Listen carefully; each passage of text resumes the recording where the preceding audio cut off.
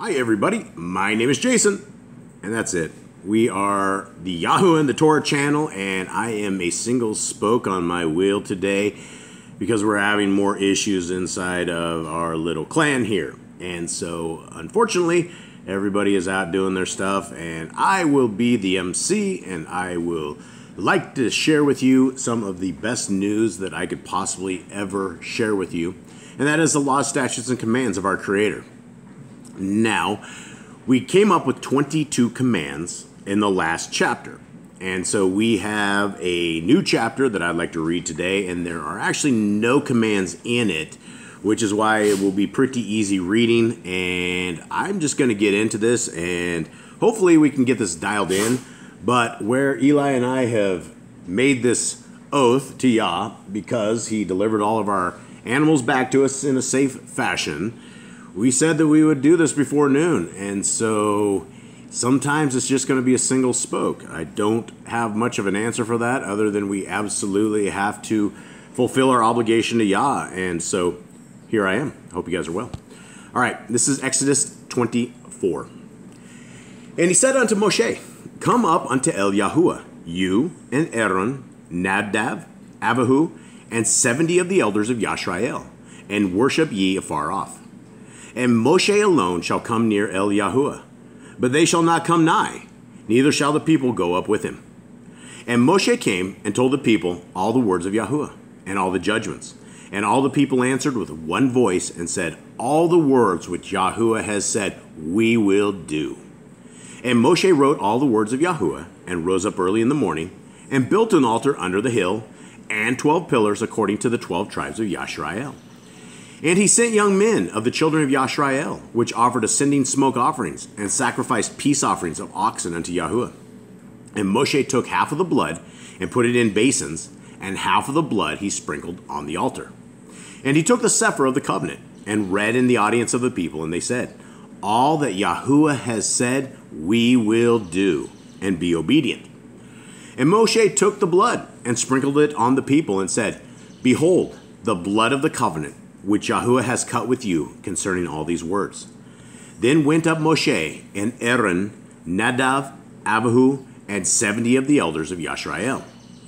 And they saw the Elohai of Yashrael, and there was under his feet as it were a paved work of sapphire stone, and as it were the body of heaven in his clearness.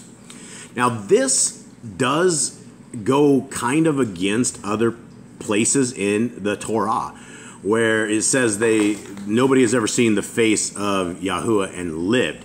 So there's another story further on where Moshe is wants to see Yah and he passes by and he puts his hand over him because if not he would be uh, burned he would he wouldn't make it and so we got to kind of look at these things and in you know can we see the face of Yahuwah and live? I, I don't believe we can.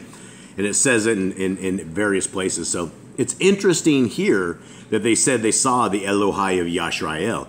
And it didn't say it saw his face. It doesn't say it saw his body, but I mean, it could be a giant fiery something, and that could be the, the Elohai of Yashrael. So I, I don't believe we are able to see Yahuwah and live. And upon the nobles of the children of Yashrael he laid not his hand. Also, they saw Elohim and did eat and drink. So there it is again, right? And it says twice in this chapter. So if we went just with what this chapter says, people can see Elohim, but we know they can't see the face of Elohim and live based upon other stuff. And Yahuwah said unto Moshe, Come up to me into the mount and be there, and I will give you sapphire stone and a Torah and commandments which I have written, that you may teach them. And Moshe rose up, and his minister Yahushua, and Moshe went up into the mount of Elohim. And he said unto the elders, Tarry ye here for us, until we come again unto you. And behold, Aaron and Koreh are with you. If any man have any matters to do, let him come unto them. And Moshe went up into the mount, and a cloud covered the mount. And the glory of Yahuwah abode upon Mount Sinai, and the cloud covered it six days. And the seventh day he called unto Moshe, out of the midst of the cloud. And the sight of the glory of Yahuwah was like devouring fire on the top of the mount in the eyes of the children of Yashrael. So there's another picture that we have of Yah that they looked, but it they were they you know it looks like a uh, devouring fire. Um, so that could just uh, you know that's obviously not his face, but it um, and that could also be what they they saw up close. Um, but Moshe probably got to see something more, but not his face. Verse 18. And Moshe went into the cl- midst of the cloud and got him up into the mount. And Moshe was in the mount 40 days and 40 nights.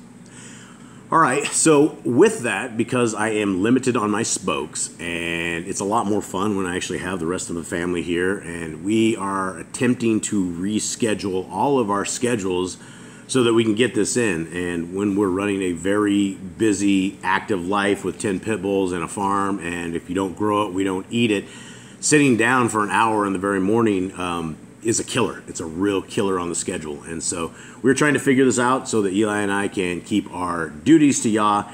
And I know that He will provide and He will help us with our timing like He always does. So, with that, folks, uh, I wish you guys a very good day. I hope you guys are blessed and much love to you. I'm out.